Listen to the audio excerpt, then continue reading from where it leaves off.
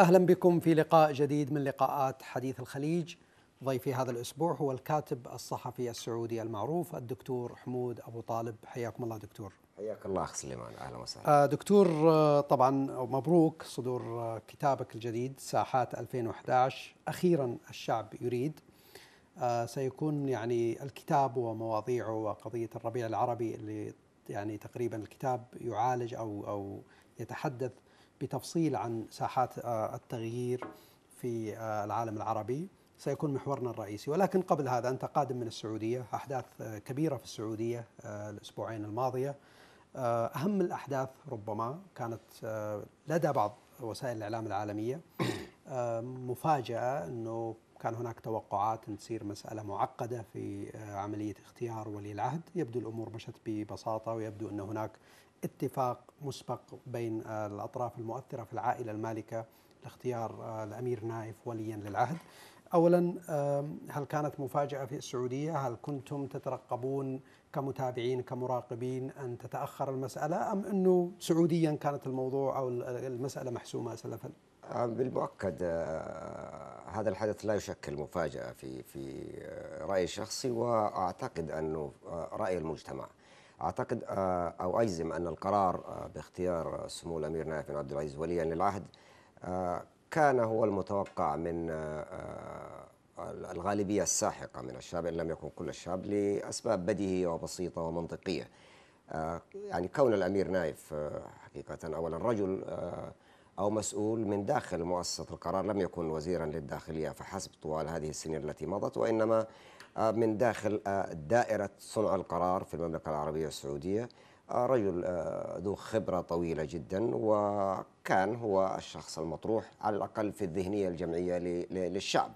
يعني بعض ف... التحليلات قد تقول يعني فقط لفهم. نعم نعم. كيف يفكر من يكتب عن السعودية؟ أنه ربما أن الربيع العربي والقلق من ما يحدث من حراك أو من حراك شامل في المنطقة العربية عجل بالمسألة بمعنى أنه سرع بآلية التفاهم داخل الأقطاب المعنية باتخاذ مثل هذا القرار الكبير.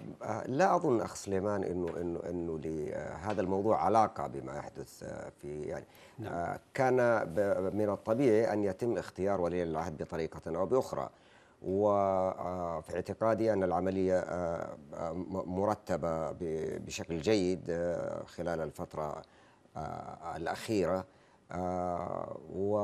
وبشكل أو بآخر بوجود ال ال الربيع العربي أو بدون وجود الربيع العربي بوجود أحداث خارجية أو بدون وجود أحداث خارجية هذا الأمر كان لابد أن يتم وعندما تم بهذه السلاسة وبهذه السرعة لا أعتقد ان أن الأمور رتبت بين يوم وليلة وإنما هناك إنما كان هناك إنما هناك بالتأكيد كان ترتيب مسبق, الترتيب مسبق وقرار نعم. مسبق في وضع الرجل المناسب في المكان المناسب. طيب يعني أيضا يأتي الحديث عن هيئة البيعة البعض قال إنه كان اختبار فعلي لهيئة البيعة، البعض يقول إنه هيئة البيعة فعلت في هذه المناسبة، ربما لم تعلن هذه التفاصيل. البعض يقول لا ربما أخفقت هيئة البيعة في في هذه التجربة لأنه قرار ملكي ونفذ ضمن اتفاق لرموز مهمة داخل العائلة الحاكمة، كيف تقرأ أنت وجود أو دور هيئة البيعة في هذه المسألة تحديدا؟ وليكن الأمر ما يكن، في النهاية أن القرار مر بهدوء ومر بسلاسة ومر باتفاق الجميع. الملك استخدم صلاحيته في اختيار ولي العهد تم أو حظي هذا الاختيار أو القرار بالإجماع نعم. من من الأسرة المالكة أو أعضاء مجلس هيئة البيعة.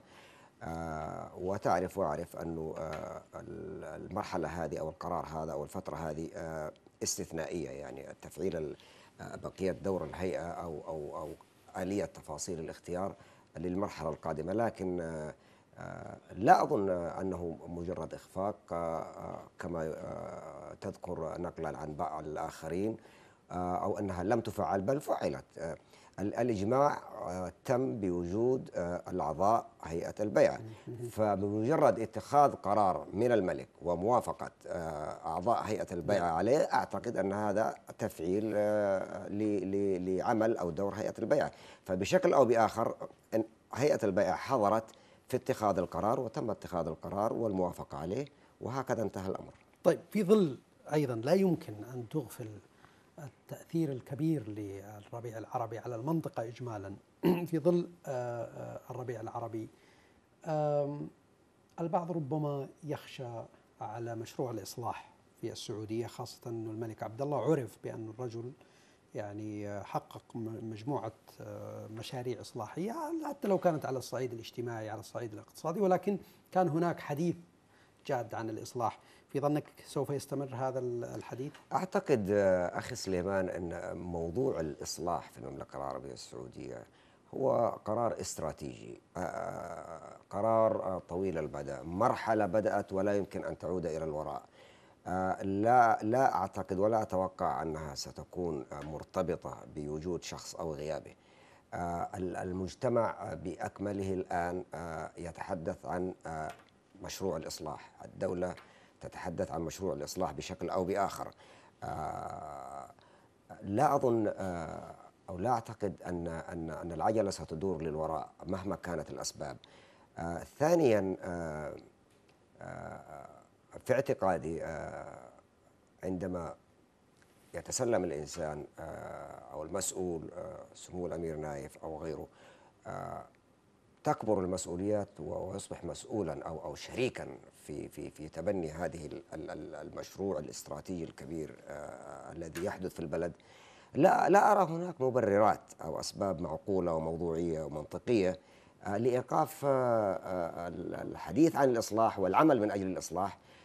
لأنه في كل الأحوال كما كما أسلفت لن يتقبل ذلك أحد ولن تعود العجلة إلى الوراء يعني ولا توجد ولا توجد هناك أشياء مؤكدة أو ملموسة آه، نستطيعها الآن ان ان أن نجزم بها ان أن هناك ما يوحي آه، بأن مشروع الإصلاح آه، سيتوقف. لماذا نقرأ بين السطور في بعض التعليقات خشية من آه إذا جاز التعبير دور أقوى لبعض الجماعات الإسلام السياسي الأصولية آه، في ظل يعني آه، المرحلة القادمة في السعودية هل هناك خشية من أن تعود الأمور إلى ما كانت عليه من صراع أيديولوجي بين تيارات معينة؟ آه، لأنه الحديث عن الإصلاح قد يخفق أو قد يخفت؟ الإصلاح يا سيدي الكريم كل ينظر له بحسب فكره وبحسب رؤيته. هناك جناح أو طرف يرى أن الإصلاح أن تبقى كما أنت. وهناك طرف يرى أن الإصلاح أن تعود إلى الوراء يرى, يرى أننا تقدمنا لما هو أسوأ. وهناك طرف يرى أننا يجب أطراف داخل العائلة تقصد؟ لا أقصد داخل المجتمع السعودي أو داخل أطياف المجتمع السعودي. ف وهناك طرف يرى أننا يجب أن نتقدم إلى الأمام أكثر وهناك أطراف يرى أننا نسير ببطء. فبالتالي عندما يأتي الحديث عن الإصلاح كل طرف أو كل طيف يتحدث انطلاقا من مفهومه لمعنى الإصلاح. آه، مثل هذه الإفرازات عندما تظهر إلى السطح يظهر للمتلقي أو المشاهد أن هناك آه، آه، جدل كبير جدا حول الإصلاح. ولكن عندما نتكلم عن الإصلاح كمشروع دولة أو أو كمشروع شعب كامل أو كمشروع استراتيجي أعتقد أن الخط واضح أنه هناك أشياء كثيرة يجب أن تحدث. على المستوى المؤسسة السياسية على المستوى المؤسسة الاقتصادية على المؤسسة التعليمية على المؤسسة الاجتماعية على المستوى الثقافية. هذا لا جدال فيه وكل آه، ذي عقل في المملكة العربية السعودية وكل شخص آه، آه، يعي جيدا ما يحدث في العالم ويحرص على وطنه يشارك بقوة في في في بالدفع بهذا الحديث إلى مرحلة نعم. التحقيق. طيب اسمح لي دكتور باخذ الفاصل الأول، بعد الفاصل ودي أتحدث معك بشكل مفصل عن ساحات 2011 أخيرا الشعب يريد أريد أن أسألك ماذا يريد الشعب؟ لا بأس. بعد الفاصل انتظرونا.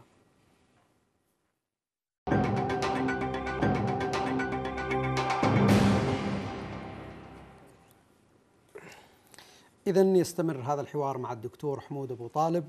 دكتور في مقال من ضمن المقالات المنشورة هنا في ساحات 2011 أخيرا الشعب يريد نعم. تقول إنها شعلة التغيير التي ستجوب كل محطات الشارع العربي ولن تستطيع محطة إطفاء وهجها. يحملها مواطن صرخ زمنا طويلا يريد إصلاح النظام. لا أكثر وعندما لم يستجب له النظام كان قراره إسقاط النظام. فهل تستفيد المحطات القادمة من هذا الدرس البليغ. هل الخليج والسعودية بما أنك قادم من السعودية يعني في منأى عن آه، هذا القطار المنطلق بقوة كما يبدو؟ آه، لا يوجد أحد في منأى. وبغض النظر عن صفتي قادم من السعودية أو من غير السعودية آه، كمواطن عربي أو أو أو مهتم بالشأن العام أو كراصد لما يحدث بالتأكيد لا توجد محطة ستكون استثناء. كما قلت آه، موضوع الإصلاح النظام آه، كل الشعوب العربية تطالب بإصلاح النظام وظلت تطالب آه، زمنا طويلا بإصلاح النظام. الشعوب لا ترفع شعار إسقاط النظام إلا عندما تيأس تماما من أنه لا توجد فرصة للإصلاح. عندما ننظر إلى الساحات التي حدثت فيها الثورات العربية سنجد أن الشعوب بالفعل كانت تصرخ زمنا طويلا لمجرد إصلاح النظام.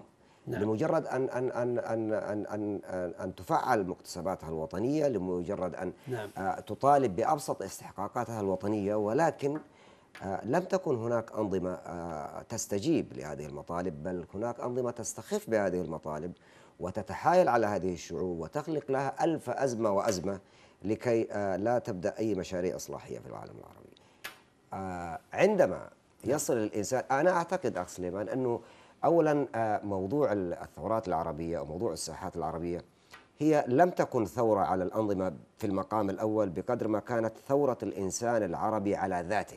بمعنى؟ بمعنى آه، هو ثورته على على على على اليأس من أن يفعل شيئا هو ثورته على حاجز الخوف السميك الطويل الذي نعم. وقف بينه وبين أن يفعل شيئا زمنا طويلا. هو آه، وصولي إلى قناعة أنه إنسان قادر أن يغير الأشياء. آه، عندما تحقق ذلك للإنسان العربي وانتصر على ذاته أولا على ذاته الخائفة كان باستطاعته أن يخرج وينتصر على على الأنظمة التي ظللته طويلا وظلمته طويلا وصادرته طويلا. آه، الإصلاح مطلوب في كل بلد عربي. ولا توجد هناك آه، بلد عربي أو مجتمع عربي آه، أو نظام عربي آه، يدعي أنه بمنأى من المطالبة بالإصلاح. إذا كان هناك نظام يظن أنه كذلك فهو نظام واهم. بما بما فيه الخليج والسعودية. أي كل مكان وكل مجتمع نعم. في السعودية هناك حديث واضح. أنا لا نريد أن نختصر الحديث عن السعودية ولكن ك ك ك كجزئية في السعودية هناك حديث مستمر عن الإصلاح. هناك حديث مستمر منذ زمن طويل. ولكن على الأقل آه، ما يبشر بالأمور أن هناك اعتراف بأن بأن المجتمع وبأن المملكة العربية السعودية تحتاج إلى إصلاح. الاعتراف بالمشاكل هو أول خطوة في تنفيذ الإصلاح. الدولة الآن آه، تتحدث مع المجتمع بشكل علني. أن هناك فساد أن هناك آه، المجتمع يطالب بالدفع بالمشاركة المواطن في اتخاذ القرار. هناك مطالب كثيرة جدا. آه، على الأقل أنه الدولة لدينا آه، لا تنكر وجود هذه المشاكل وتعترف بأن المجتمع يحتاج إلى إصلاح وأن هناك كثير من نعم. الأنظمة والقرارات تحتاج إلى إصلاح. هنا على الأقل نحن لسنا في مأزق. الأنظمة التي تدعي الملائكية والطوباوية والمثالية والنموذجية ومن يتحدث عن الإصلاح آه، آه، يتم قمعه أو يتم هناك حالة إنكار من وجود خلل في الأنظمة العربية. على الأقل عندما تكون أنت ودولتك نعم. في خط مشترك بأن بأن المجتمع وبأن الشعب وبأن الأنظمة وبأن المؤسسات السياسية والاقتصادية والتعليمية وإلى آخره كلها تحتاج إلى إصلاح. دكتور فبالتالي نحن على الأقل في في في في نقطة مشتركة. في السعودية في الخليج في العالم العربي اجمالا حتى لا نخصص يعني نعم. الناس ملت من الحديث عن الإصلاح. تريد فعل لا تريد أقوال. ولهذا ولهذا قامت الشعوب ضد هذه الأنظمة. ولهذا قامت الشعوب ضد هذه الأنظمة. وبالتالي هذا الدرس كيف يمكن أن يستفاد من خليجيين أو في الدول التي لم تطالها ال ال يعني رياح الربيع العربي؟ أن تستمع جيدا لمطالب الشعب. أن آه، لا تعتبر أن المطالب الآن مطالب الشعوب هي نوع من الترف أو نوع من التطاول على على أو سيادة نعم. مؤسسة الحكم. أن تعتبر أن المواطن هو شريك أساسي وصاحب قرار آه، في في في تشكيل مستقبل وطنه. آه، أن يتم عامل الزمن الآن نحن في سباق سريع ومخيف مع عامل الزمن. ألا تؤجل الخطوة التي يجب أن أن أن أن, أن تتم اليوم إلى الغد؟ ألا تراهن على عامل الزمن؟ عامل الزمن يا أخي الكريم أثبت أنه سقط سقوطا آه، مدويا من خلال ما شهدناه. يعني منذ يناير 2011 إلى إلى إلى يومنا هذا يعني لم تمر سوى تسعة نعم. أشهر. انظر ماذا حدث. كل الذين راهنوا على عامل الزمن خسروا آه، هذا الرهان. فبالتالي على نعم. بقية الدول العربية أو على بقية مؤسسات الحكم العربية أن تستفيد من هذه التجربة التي مرت بأن آه، تكون ذات مصداقية عالية مع شعوبها أن لا تقدم وعود لمجرد الوعود آه، دون تنفيذ نعم. وأن تسارع أيضا آه، في الإصلاحات لأن الشعوب لا تنتظر طويلا خاصة بعد ما حدث ونراه يحدث أمامنا الآن نعم. في الكتاب ساحات 2011 كان سؤالك الرئيسي لماذا الشباب ولماذا الآن؟ نعم. يعني كيف ممكن أن نجيب على مثل هذا السؤال؟ آه حقيقة هو هذا المحور الأساسي كان تقريبا لمقدمة الكتاب وهي مقدمة طويلة جدا. ولكن آه إذا أردت أن أختصر الموضوع آه يعني في الشقين لماذا الشباب ولماذا الآن؟ دعنا نبدأ بلماذا الآن؟ لماذا الآن؟ لأن لأن كل شيء بلغ مداه. تراكمات نعم. تراكمات وكل شيء يعني العالم الدول التي آه، حدثت فيها هذه الثورات كانت عبارة عن عن عن براكين آه، تحتاج فقط إلى إلى إلى ما ما ما يحركها لتنفجر. كانت عبارة عن براميل من البارود آه، انفجرت فجأة. الاحتقان بلغ مداه ال ال الأمور في العالم العربي بلغت من السوء إلى درجة لا يمكن أن تتخيل ما, ما هو أسوأ منها. كل شيء بلغ أقصاه في السوء. آه، فبالتالي كان من الطبيعي جدا أن أن أن تصل الناس إلى مرحلة الثورة على وضعها السيء القائم لأن الناس قمعت آه، سياسيا قمعت اقتصاديا آه، تعيش أسوأ الظروف التي يمكن أن أن تعيشها يعيشها أي شعب في العالم. عالم عربي يتمتع بأعلى مؤشرات البطالة والفقر والأمية وكل نعم. وكل وكل ما هو سلبي. فبالتالي من حيث الأوضاع الأوضاع تراكمت إلى أن وصلت إلى درجة فاضحة ومخجلة ولم يكن باستطاعة الأنظمة أن أن تتداركها. فبالتالي بي بي كان من الطبيعي بشكل أو بآخر حتى لو تأخرت الأمور قليلا فإن فإن الوقت لن يطول. نعم إذا هذا من ناحية التوقيت. لماذا نعم الشباب؟, الشباب؟ لماذا الشباب سيدي الكريم؟ لأنه أيضا من سذاجة كثير من الأنظمة أنها أنها نسيت أو تجاهلت أن 70% من سكان العالم العربي الآن من الشباب وأنه ليس الشباب الذي أو ليس الزمن أو الشباب الذي عاش فيه ذلك الحاكم أو جيل ذلك الحاكم نعم. نسيوا أن هؤلاء الشباب أولا أولا آه أن من حقهم الجيل القديم الجيل القديم لم يبقى له كثيرا من الزمن آه ولم يبقى له كثيرا من الحماس واللياقة النفسية لكي يتبنى مشاريع مستقبلية ولكن عندما تتحدث عن شاب بين العشرين والثلاثين من العمر نعم.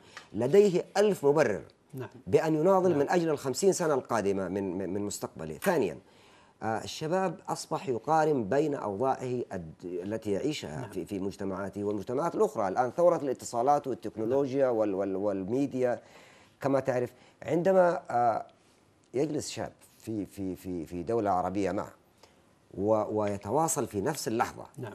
مع نعم. آه الشاب مثله ويتحدث نفس اللغة في شاب في فنلندا أو شاب في أستراليا أو شاب كذا نعم. ويتحدث ذلك الشاب عن الأوضاع التي يعيشها وعن الميزات التي يتمتع بها وعن الحقوق التي يتمتع بها. بمعنى أن الوعي بفداحة الظلم والسوء الذي يعيش فيه الشاب العربي اتضح لديه. صحيح صحيح. وتوفرت نعم. كل المعطيات والظروف التي تجعله يثور على هذا الواقع. نعم. لن يقبل الشباب أن يعيشوا في ظل هذه الظروف بعد الوعي الذي اكتسبوه. وعي سياسي صحيح. وعي بما يجري في المجتمعات. صحيح. خلني أخذ الفاصل الثاني لأنه عندي موجز عاجل الآن. أريد أن أتحدث عن تقنية الاتصال التي كسرت ما أسميه أنا جدار برلين بين العرب بعضهم بعضا. صحيح. آه، اتصالهم ببعض استطاعتهم أن ينظموا أنفسهم ويخرجوا للشارع صحيح. ليعلنوا آه، المطالبة بإسقاط النظام ولكن بعد الفاصل انتظرونا.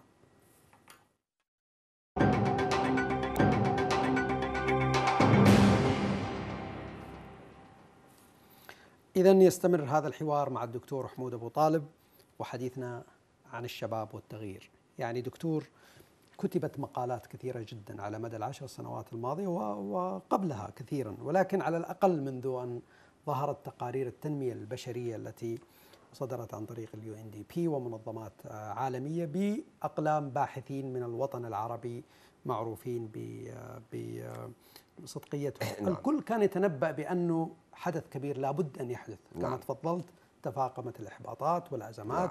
وأيضا تمادت بعض الأنظمة القمعية في تجاهلها لمطالب الشعوب. صحيح. اليوم نحن أمام عالم متغير زي ما تفضلت. الشباب أكثر التصاق بهموم مجتمعهم وب صحيح. وبالتقنيات المحيطة بهم من كل مكان يعني مرتبطين بما يحدث في العالم. إذا هل هذا الطريق خلاص انفتح؟ يعني لا يمكن إغلاقه أبدا. الجيل القادم سيصر على آه، آه، المطالبة بحقوقه تعتقد أنه يعني ألا تخشى أنه الأنظمة تس يعني تستحدث أنظمة تقنية لقمع مثل هذه الأصوات أم أنه توليت الآن؟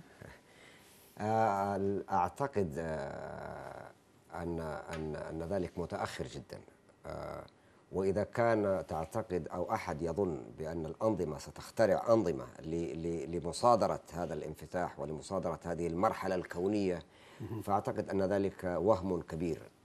آه، يجب أن نعترف بأن هناك عالم جديد يتشكل الآن وعمادهم هؤلاء الشباب الذين سيشكلون العالم.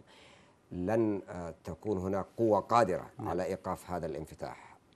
لن تكون هناك قوة قادرة على على على مصادرة آه، هذه الإرادة. لا سيما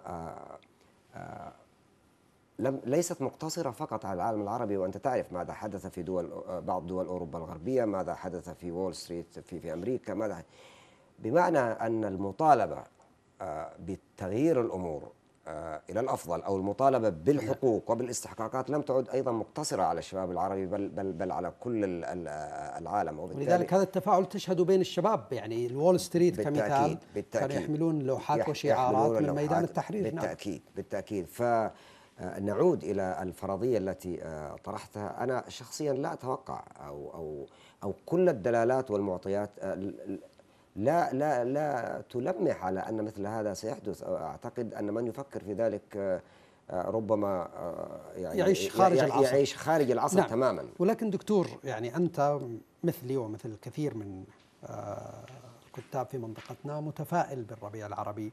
بأمانة ما هي أبرز المخاطر التي تخشاها حمود أبو طالب على على الربيع العربي وشباب الربيع العربي؟ آه بالتأكيد هي ما مر وما حدث إلى الآن هو هو هو المرحلة الأولى من التغيير، هي ليست التغيير التغيير لا يتم بسقوط نظام أو بسقوط رمز نظام أو بسقوط آه، آه، مؤسسة حكم التغيير آه، الحقيقي أو ما يمكن ان نعم. نحلم به أن يكون الربيع العربي هو ما بعد هذه المرحلة هو نعم. ترجمة الأحلام التي التي من أجلها قامت هذه الثورات نعم. إلى واقع آه، آه، إذا إذا إذا أرادت الشعوب العربية أو الشباب العربي الذي يحلم أن يؤسس لمرحلة قادمة أفضل بكثير من ماضيه أو أن يقطع ال ال ال ال الاتصال بين ما هو سابق وما سيأتي. آه، أيضا يجب إذا المطالبة ليست فقط بديمقراطية سياسية يا أستاذ سليمان كما كما يعني يحلم بها الشباب وأن تطبق والتعددية نعم. وكذا. يجب أيضا المجتمعات أن تؤسس إلى إلى إلى مشروع فكري وثقافي يتماشى مع حلمهم بالمشروع الديمقراطي السياسي. نعم. بمعنى لابد أن تكون هناك ديمقراطية فكرية وثقافية. المجتمعات الجديدة يجب أن لا تقع في الأخطاء التي وقعت فيها الأجيال السابقة. بمعنى التصنيفات مصادرة الرأي الرأي الواحد. إذا كنت تريد أن تعيش ديمقراطية أو تحلم بوجود أنظمة ديمقراطية سياسية يجب أن يؤمن المجتمع بالديمقراطية الثقافية والديمقراطية نعم. الفكرية. النظام السياسي وحده مهما كان جمال إذا لم توجد هناك أرضية فكرية وثقافية مستعدة لأن تتسق وتتماشى نعم. وتتناغم معه آه، آه، لن يكون ناجحا. فالخوف آه، أن يفشل البعض أن يفشل البعض في مرحليا على الأقل. نعم في في التأكيد على أهمية على أهمية هذه هذا الجانب. بمعنى أن لا نطالب بمستقبل سياسي أفضل ولكننا نعيش مست... ونعيش واقع اجتماعي وثقافي وفكري نعم. متصل بالماضي. اذا التغيير التحول هو هي مسألة يعني ليست فقط كما تفضلت بإسقاط رمز نظام سياسي ولكن عملية يعني ثقافية اجتماعية فكرية بالتأكيد. آه وبالتالي البعض يعني من المتذمرين من الربيع العربي لظروفهم ولمصالحهم ولخوفهم أيضا نعم. نفهم يعني آه يقول انظروا ماذا يحدث في مصر انظروا الفوضى و وما الذي وما الذي يحدث يا سيدي هل تتوقع آه شعب يرزح تحت نظام دكتاتوري لمدة 30 عاما أن أن أن أن يتغير بين يوم وليلة وأن وأن, وأن تكون الأمور على ما يرام هذه هذه النتائج طبيعية نعم. جدا هذه المراحل الانتقالية طبيعية جدا ومتوقعة ويجب أن لا تكون مصدر إحباط وللأسف الشديد هناك أيضا بعض الزملاء الكتاب في أكثر من مكان وفي أكثر من موقع يركزون على هذه النقطة بأنه انظروا ماذا حدث في مصر انظروا ماذا حدث في تونس انظروا ماذا يحدث هنا هذا هذا هذا لابد. هناك أنظمة كانت تقاوم وأنظمة لها جيوب لا زالت متواجدة في كل مكان وتناضل بشراسة وبقوة من أجل جر هذه الثورات إلى الماضي ومن أجل فبالتأكيد لابد أن تكون هناك مشكلة. أيضا الانتقال من من مرحلة اللا شيء إلى بناء شيء جديد أيضا آه، مرحلة مكلفة ولا بد أن تمر بآلام شديدة جدا. وأي حلم نبيل وأي وأي حلم آه، آه، جميل في هذه في هذه الحياة لابد أن أن يمر بهذه المرحلة الانتقالية نعم. بمعنى نحن لا نقلل من من من من الآثار الاضطرابات التي تحدث الآن أو من التوجس أو من التخوف ولكن لا يجب أن يكون هذا مبررا. آه، لأن لأن نشعر هؤلاء الشباب بال باليأس نعم. أو أن مشاريعهم فاشلة ابدا آه، ما يحدث هو في سياقه الطبيعي نعم. الانتقال من مرحلة آه، طويلة جدا مليئة بكل المساوئ والسلبيات إلى مرحلة جديدة تريد أن تؤسس لما هو عكس ذلك لابد أن نمر بهذه المرحلة الانتقالية التي نشاهدها الآن ولكنها ليست مبررا لا يجب أن تكون مبررا لليأس أبدا. طيب خليني أنقلك إلى اليمن في صحيفة عكاظ حيث تكتب في 9 أكتوبر 2011 كتبت مقال بعنوان توكل كرمان بين السجن ونوبل. تقول الرئيس علي عبد الله صالح كانت لديه فرصة ليكون مرشحا لهذه الجائزة. تقصد نوبل للسلام. لو كان تنازل عن الحكم في بداية المطالبة بالتغيير لأنه سيكون أول رئيس عربي يستجيب لمطالب الشعب ويترك آه الكرسي. يعني أليس طبيعيا أنه واحد له 30 سنة في الحكم لن لن يستوعب مثل هذا الدرس؟ آه، لا أدري لماذا نقلتنا إلى اليمن بالذات ولكن أنا أنا تكلمت عن اليمن آه، ليبيا نعم. مصر تونس ولكن في كل الأحوال يعني يعني أنا تحدثت عن الرئيس صالح كنموذج لغيره إذا كان الرئيس علي عبد الله صالح له 32 عاما نعم.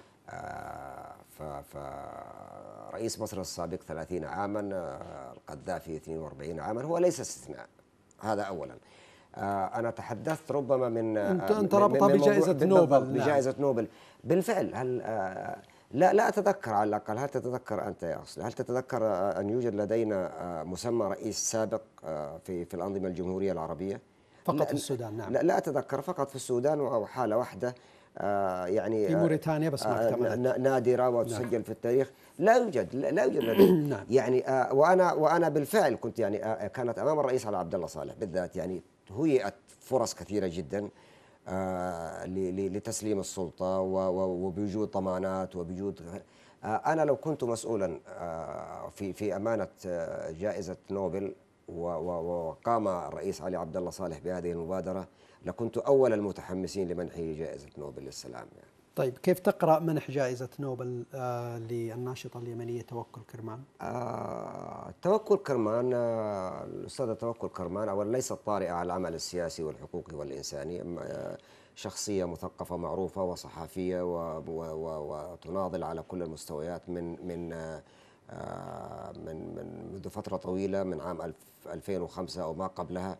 آه أسست آه، منظمة صحفيات بلا حدود صحفيات بلا قيود تبنت قضايا حقوقية في غاية الأهمية آه، ما بعد ذلك آه، بالمناسبة توكل كرمان كانت تتبنى قضايا كبيرة جدا وكانت تعتصم أمام مجلس الوزراء في يوم انعقاده اسبوعيا للمطالبة نعم. بهذا الموضوع بالإضافة إلى ذلك دعنا يعني توكل كرمان كان لها دور كبير جدا تنسيقي وتنظيمي وإعلامي و- و- وفي في ساحة التغيير آه، في اليمن وكانت آه، حاضرة بقوة وفاعله بقوة وكان خطابها وكان خطابها السياسي آه، خطابا عقلانيا وجيدا وراقيا وينم عن عن حب عميق جدا لوطنها وأنها تريد أعتقد أن أن أنها تستحق جائزة نوبل للسلام. هي و و و نعم. و و وأمثالها يعني وأمثالها من- من لكن الشباب أنت ككاتب سعودي لا أريد أن أحرجك ولكن لا،. مهنيا لابد أن أسأل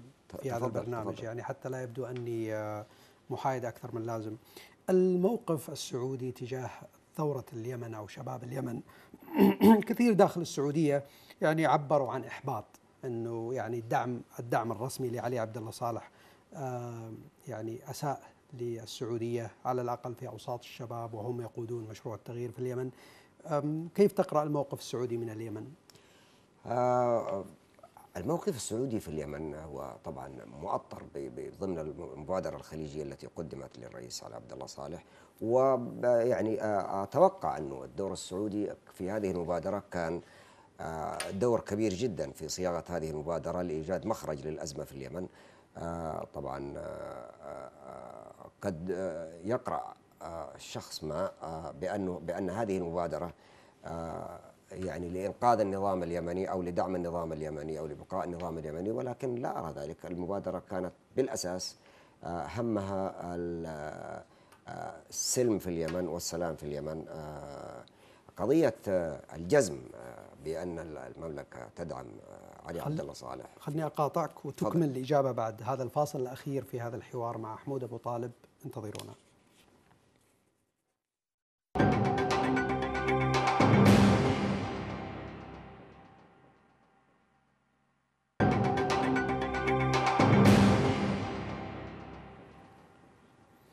إذا نحن في الجزء الأخير من هذا الحوار مع الدكتور حمود أبو طالب قاطعتك وأنت تكمل آه، أو كنت تنوي أن تكمل إجابتك نعم. عن حول سؤالي عن اليمن والموقف السعودي من اليمن نعم دعني أشير إلى جانب معين. ربما تكون الإجابة آه، داخل ما ما ما تفضل. ضمن ما, ما ما سأشير إليه. الرئيس علي عبد الله صالح آه، آه، استضيف في المملكة العربية السعودية للعلاج بعد الحادث الذي آه، المعروف نعم. الذي حدث له. آه، آه، قدم الرئيس علي عبد الله صالح المملكة للعلاج وعولج ولكنه خرج آه، للأسف الشديد. آه، يعني آه، آه، ما ممارسات الرئيس بعد أن خرج للعلاج أو ممارساته السياسية أو حضوره السياسي في المملكة العربية السعودية وفي الرياض. آه، أعتقد أنه لم يكن آه، يجب أن يحدث بذلك ال- ال- الشكل.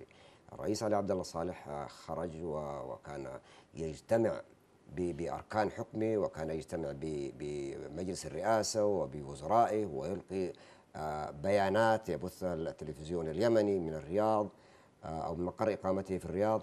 آه، أعتقد أنه أنه أنه تمادى كثيرا آه، في آه، استغلال الظرف الذي هو موجود فيه ربما الله أعلم أنا لا لا لا أشكك في النوايا ولكن ذلك كان محرجا وقلت ذلك في الكتاب ان أن هذا ذلك الموقف محرج للمملكه العربيه نعم. السعودية على مستوى الحكومة وأيضا على مستوى وعلى مستوى الشعب لا ننكر ذلك لأنه في تزامن مع إلقاء خطط لم يكن لم يكن آه، جيدا أن يفعل ذلك الرئيس علي عبد الله صالح أن يتواجد في دولة وهو رجل خرج آه، في في في نعم. خضم ثورة على نظامه وأن آه، يمارس ذلك النشاط السياسي العلني ويوجه تلك الخطابات القاسية للمجتمع اليمني وللثوار اليمنيين من عاصمة الدولة استضافته للعلاج وقدمت له كرم الضيافة ولكنه كان بطريقة ما يحاول إحراج المملكة العربية السعودية. ولذلك يأتي السؤال إنه هل أليس من مصلحة السعودية كحكومة وكمجتمع أن تبني علاقات جيدة تدعم هذا التوجه؟ خليني اكمل سؤال التوجه الشبابي في في اليمن لأنه الرئيس يعني مثله مثل غيره آه، ذاهب ذاهب يعني اليوم ه- غدا. وهذا المنطق يا يا سيدي الكريم هذا المنطق.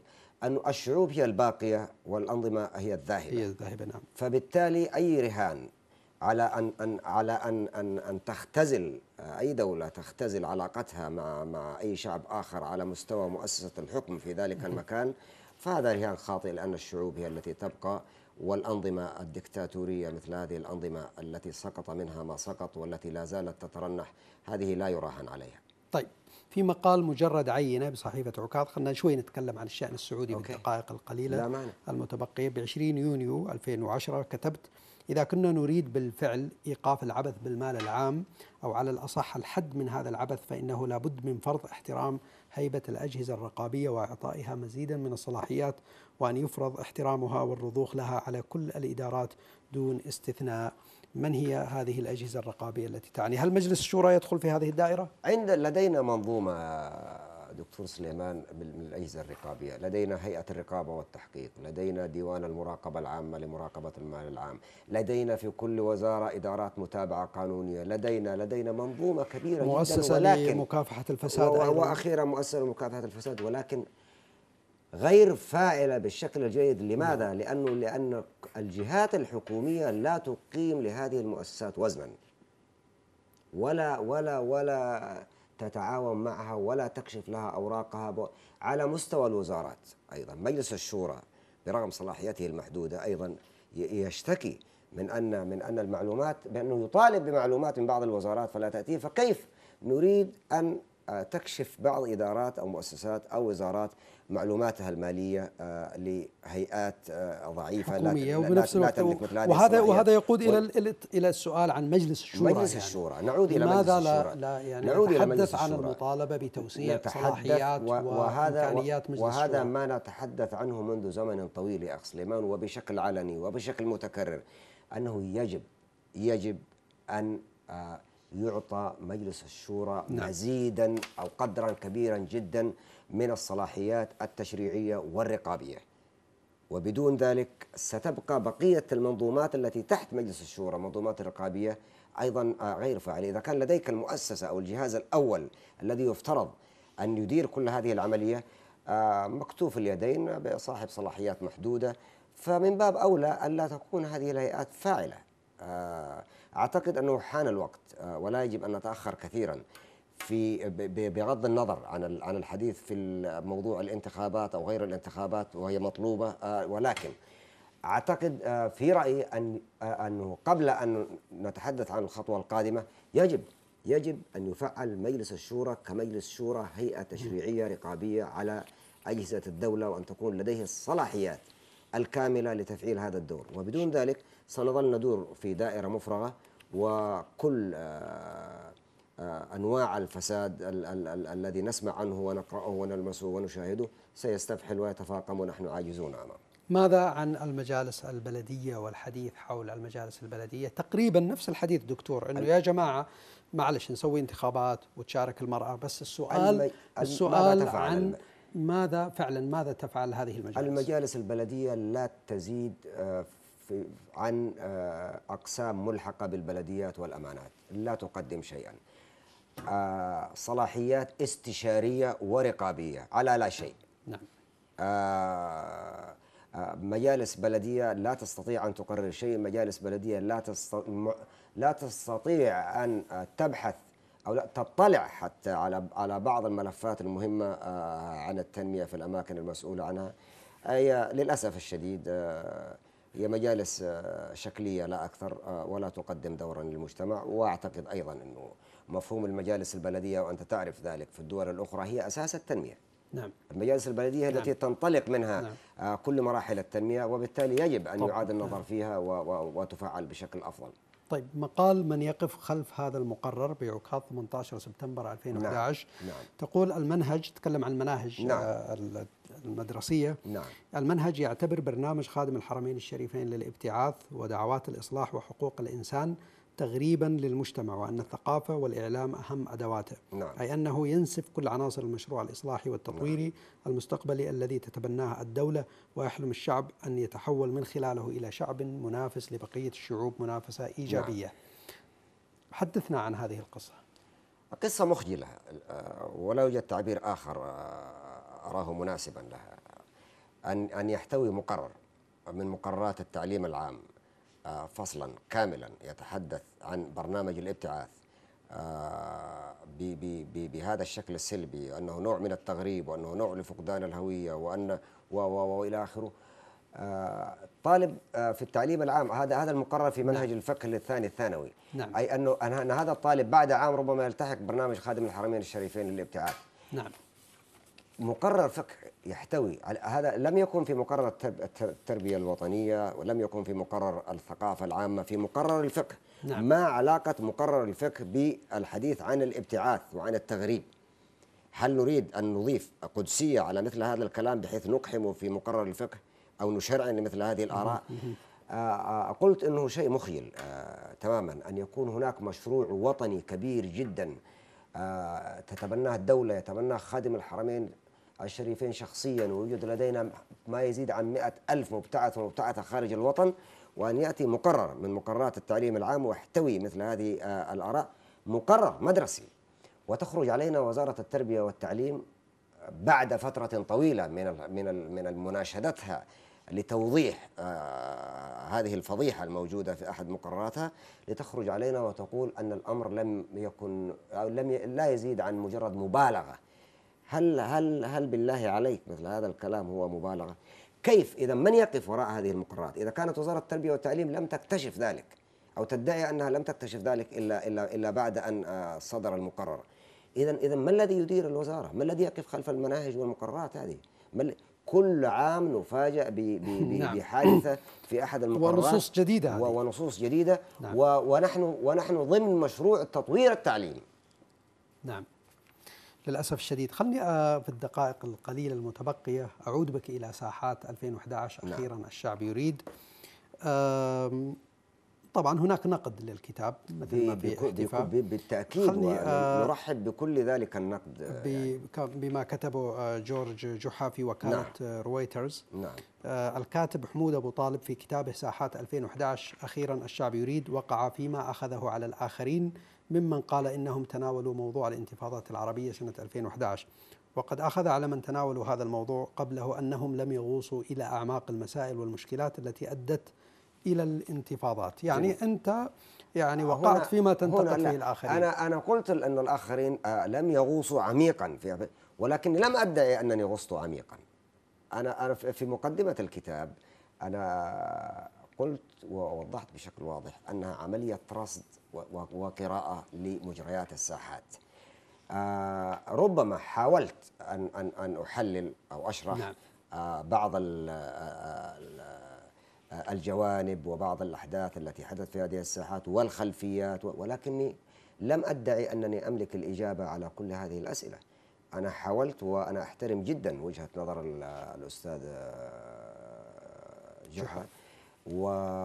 و... و... وتضيف نقد شخص مثله للكتاب. بالعكس يضيف شيء كبير جدا وشيء شيء يسرني ولا يغضبني. ما هي أصداء الكتاب؟ كيف كانت أصداء الكتاب؟ عموما آه، ربما نسأل ال- الآخرين. أنا لا أستطيع أن ولكن آه، آه، قيل لي أنه أنه حاضر متواجد ومقروء نعم. لا لا لا أريد أن أروج للكتاب ولكن أتمنى أتمنى أن يكون لائقا بوعي القارئ وبوعي. القارئ العربي وأتمنى أن يكون لائقا أيضا بحجم الحدث. أنا حاولت آه، ما استطعت جاهدا وبكل حيادية وبكل آه، آه، مسؤولية ذاتية تجاه هذه الثورات نعم. العربية وهذه الساحات العربية. وعلى الأقل أنني حاولت. متواجد بالأسواق العربية اليوم؟ متواجد بالأسواق العربية نعم. نعم. إذا أكرر شكري وتقديري لحضورك للمرة الثانية في استوديو حديث أشكرك الخليج. دكتور سليمان. دكتور حمود أبو طالب. يسعدني تماما التواجد معكم وأنا الذي أكرر الشكر لك. الله يحييك. إذا مشاهدينا الكرام أشكركم أيضا على متابعة هذا الحوار مع الكاتب السعودي الدكتور حمود أبو طالب. حديث كان عن كتاب ساحات 2011 قرب الكاميرا الشعب. أخيرا الشعب يريد. نلتقي الأسبوع القادم. إلى اللقاء. شكرا دكتور. شكرا.